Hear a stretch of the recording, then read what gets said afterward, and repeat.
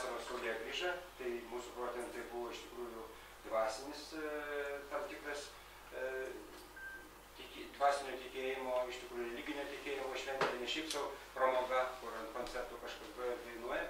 Ir e, gamta pati tarsi siūlo temą, o ta tema, tas pokalbis mūsų vyks būtent apie magiją, burtus, žoles, kurios įgyja didžiausią galę ir visi girdėjom vienausim, kad poros šventės jau daugumą žalių pradeda pravedinėti tą galę.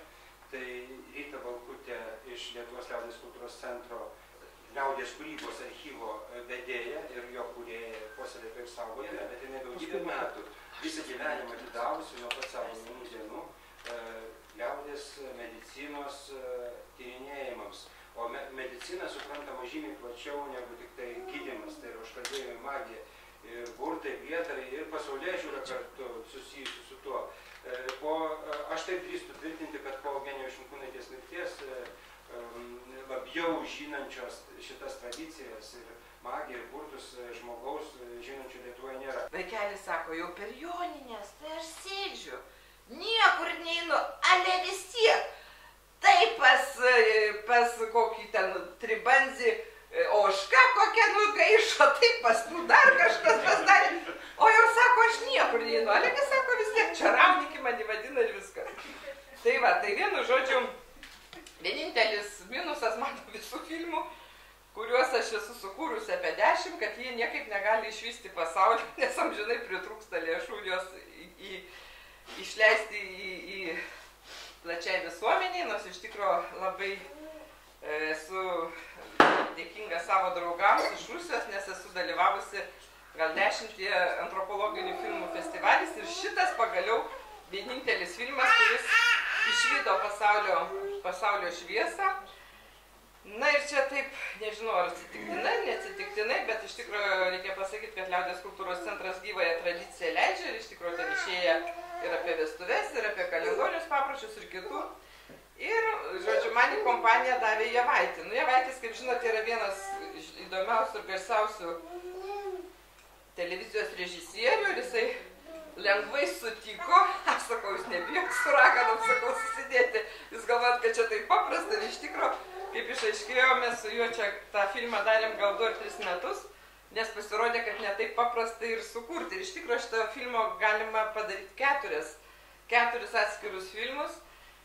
Ir jisai, žodžiu, kuo, kuo šitas darbas ypatingas, kad, e, nu kaip visą laiką, žodžiu, kadangi lėšų nėra, tai tarsi norėjosi vienu kartu įdėti viską, ką galima būtų įdėti.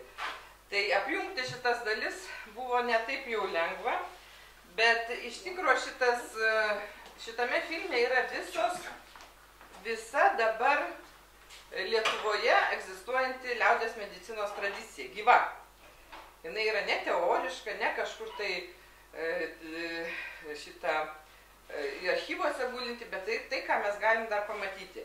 Ir šitą filmą padariau, su, sukūrėm su Javaičių aišku, turėjau labai nepaprastai gražų, gerą operatorių, Donatą Buklį, kuris šiaip jau visą laiką nelabai kratosi fil filmuoti, bet pamatysite, kad jis iš tikrųjų nepaprastai gražus operatorinis darbas. Ir šitas filmas susideda iš dviejų dalių, bet šiaip iš esmės tokios keturios dalis. Tai pirma dalis yra skirta augalams, tai augalams, gyvūnams, mineralams, kaip, kaip buvo gydoma su jais. Antra dalis yra skirta e, gydimuisi šventose vietose. Šventose vietose prie šventų paveikslų, prie šventų paveikslų, prie šventų šaltinių, šventų akmenų. Trečia dalis yra skirta magijai. Ir ketvirta dalis magijai, tai užkalbėjimams ir burtams. Nu ką, tai sakant, malonaus žiūrėjimo, o toliau, jeigu iškils kokių klausimų ar, ar kažkokio noro pasidalinti, ar, ar pasikalbėti, ar pasiklausti, kas, kas, kas yra neaišku, tai tada, manau, taip ir padarysime. Nu, dar kuo ypatingas šitas filmas, kad aš vis dėlto žmogaus gyvenimas yra neatsiejamas e, nuo jo, sveikata neatsiejama nuo, jų, nuo jo emocinės būsenos, nuo kažkokių tai gyvenimo peripetijų. Dėl to čia keletą yra tokių įdėta epizodų, kurie man asmeniškai buvo e, iš vienos močiutės netikėti, nes jinai labai gera pateikėja, bet, sakykime, filmuojant kaip tik atsivėrė. Jinai, va, žodžiu, pasakė gyvenimo receptą, jeigu kartu, jeigu žmogus nelaimingas yra, ką reikia daryti. O kita močiutė, kuri, aš esu parašęs apie straipsnį liaudės kultūroje, papasakojo, kaip atsikratyti blogų vyrų. Ir mes sužinosim ne vieną, ne vieną istoriją, kaip atsikratyti blogų vyrų. Taip kad moterim šita, šitas, šita, šitas filmas, manau, dar ir tom prasmėm bus labai įdomus. Taip kad smagaus pasižiūrėjimo. Tie dalykai veikia. Nesvarbu, ką tu tyrinėjai. Tyrinėjai apeigas, jos pradeda veikti, burtus, pasirodo veikia, gali panaudoti, žiūri, veikia.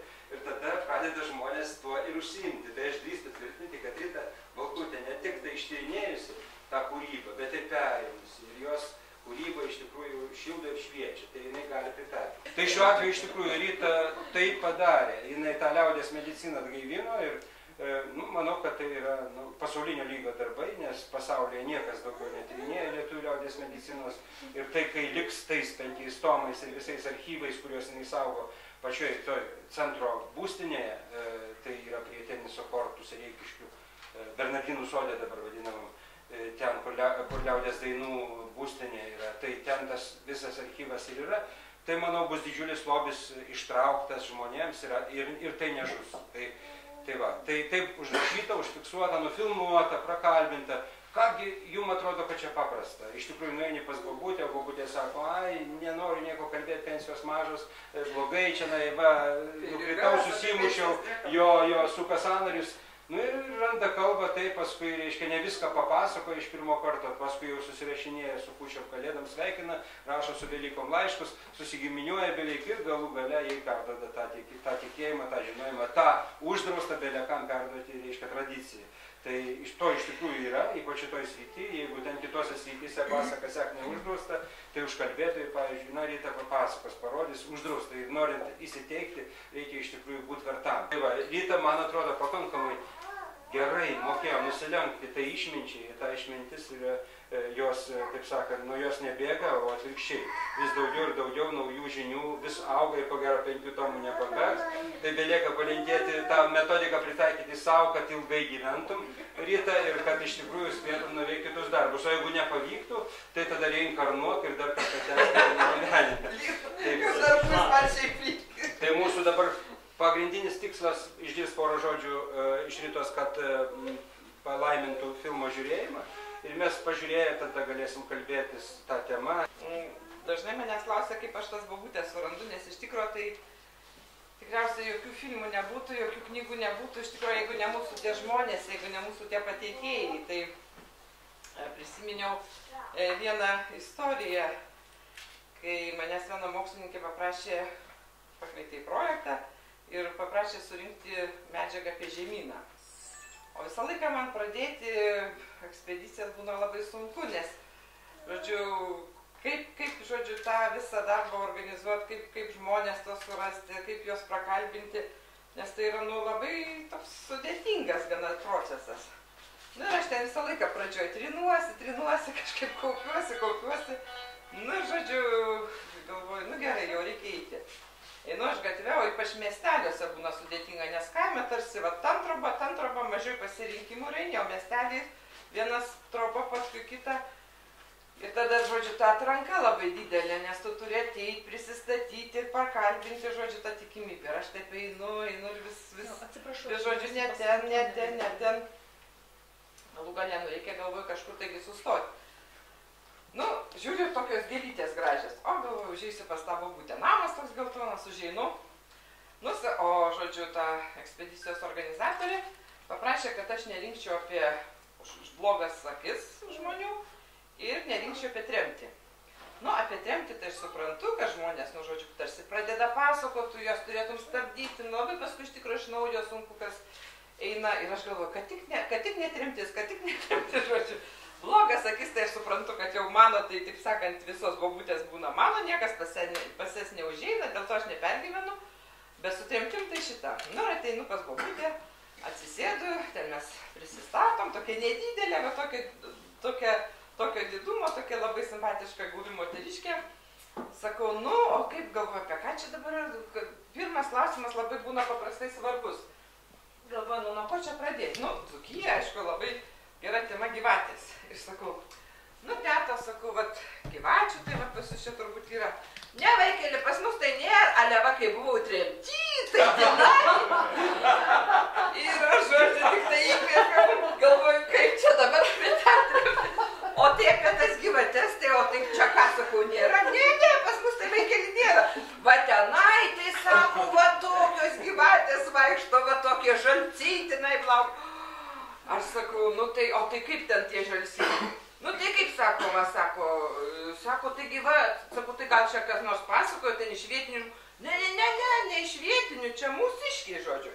Nu sako, kaip va, gaspadorius susėda su šeimyna aplink stalą, valgo, pietu, pietuja, kaip sako, žalsys atėjo prie, prie lango, pabarškino, gaspadorius šuk, atsistojo, nuvėjo, atidarė duris, leido žalsys, žalsys atsisėdo už stalo, pavalgė, pavalgė, nusišluostė. tai, žodžiu, aš mano, mano, žodžiu, taip sakant, nusistebėjimas, žodžiu, viskas dar, dar suprantama, kad jis pabaršk, pabarškina, kad gaspadorius įleidžia, bet kad jis papėdalė nusi, nusišluostė burną, tai čia man buvo. Ir sakau, tai buvo, buvo, vaikeli būna. Arba man sako, išeina jie namo, gal čia pasakos, ne, vaikeli, vagi buvo, gi, aš vagi kalbėjau su juo. Nu, sakau, o tai, o tai kaip tenai dabar, tai kaip toliau? Nu, va, sako, jeigu jie, sako, išeina į laukan, tai žalsys ateina, žiūro, vaikas miega, ar ten verkia. Nėra tėvų, tai jisai inšliaužia, tada jau jisai inšliaužia, žodžiu, na man, susraito, žodžiu, šitam lopšin ir tada plink, plink, plink, žodžiu, supuoja tą vaiką, nu, sako, nustoja vaikas verkti. Tai, žodžiu, ta pirma, pirma toks susitikimas su ta močiutė buvo nepaprastas. Tai maža to, kad jinai man ten apie žalčius ir apie viską pasakojo ir apie žemyną, kaip aukoti žemynai. Viską ir aš ten, žodžiu, kai kuo toliau, tuo daugiau e, ne, supratau, kad man sunkiai bus iš jos išėti. Tai jinai man, žodžiu, jau kai prasidėjo, aš pasie gal kokias penkias valandas, aš šešias sako, sako, žinai, vaikeli, aš tai nieko nežinau. Va, sako mano sesuo, sako, žinau. Sako, jinai tai Sibirė nebuvo, aš tai Sibirė buvau, sako, aš tai nieko nežinau, bet penkias valandas mes su ja, žodžiu, šnekam ir aš žodžiu rašau nuo pradžios iki galo. Sako, o tai kaip sakau sesuo, tai sakau, ką sesuo dar daugiau? Sako, jinai tikrai geriau žino. Nu, bet galvoju, aš taip visą laiką įtariu, kad jeigu kas nors siunčia kur nors, tai būna gal kažkaip. Nu, bet galvoju, tiek to, nueisiu aš ir pas ją. Sako, oi, kaip sako, pamatysi, pamatysim, tau papasakos daugiau. Nu, gerai, sakau, nu, čia, sakau, nebus, nu, kažkaip vis tiek pas vieną, pas kitą, aš taip jau nemėgstu, kad, sakyt, ei, kaip, kaip, sako pas ją. Einu aš pas seserį, niekas, nieko, nu, netidaro durų. Nu, galvoju, nu gerai, pakodinai ten ateis iš kažkur, galvoju, nu, aš pas kaiminką jau pakalbėsiu. Ateinu aš pas kaiminką, ten kalbu, žodžiu, ten tą, tą, apie, nu, galvoju, nu, apie ką, nu, ką man aktualu, žodžiu, raganos. Nu, galvoju, apie raganas ir paklausiu. Oi, tos raganos, tai vagi sako, šalia gyvena manęs viena ragana. Kaip sakau, ragana. Nu, vagi šita Jarmalavičienė sesuo, tai sako, raganų ragana. Tai sakau, tai kodėl jinai ragana? Anakart, sako, paėmė, atdavė mano e, sesuo žirklės jai. Aš jį sakau, tai kam tu jai davėjai? Jinai pati savo turi žirklės. Ne, mataigi, atėjo, pasiskolino. Nu, sakau, tai ką to žirklė, avim kirpt. Nu, sakau, tai ką, nu, tai pasiskolino. Nu, tai atnešė, kerpu, nekerpa. Aš jai sakau, tu žinai, kam, kam tu, sako, mano užčiaraujai žirklės avių? Aš sakau, teta, nu tai ką, maža ką žirklės nekerpa, nu gal nustojo, gal atšiko.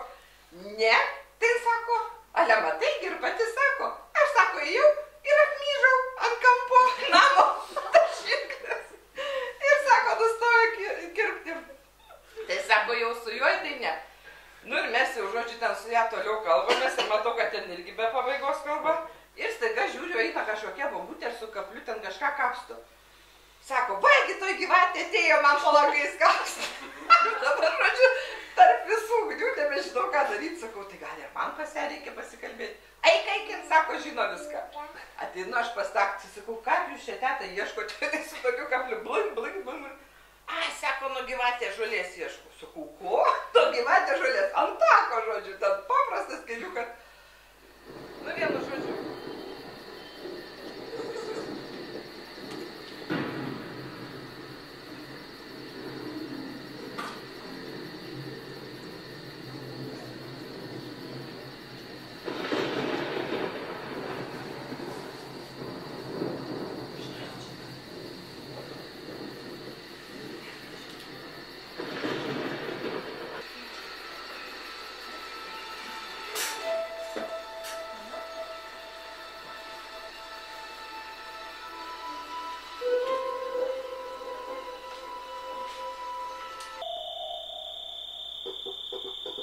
Mūsų kaiminystėje visais laikais gyveno tie, kurie buvo smalsesni, kurie kaip tikėta turėjo paslaptingų žinių, sugebėjimų matyti tai, kas paprastam žmogui nematoma, tie, kurių žinios kartais nešė naudą, o kartais kėlė grėsmę žmonių geroviai bei sveikatai.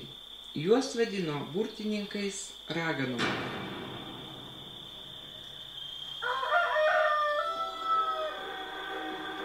Jinai sako, vaikai, sako, aš negalėsiu numirti, jeigu aš kam nors neperduosiu savo šito žodžius.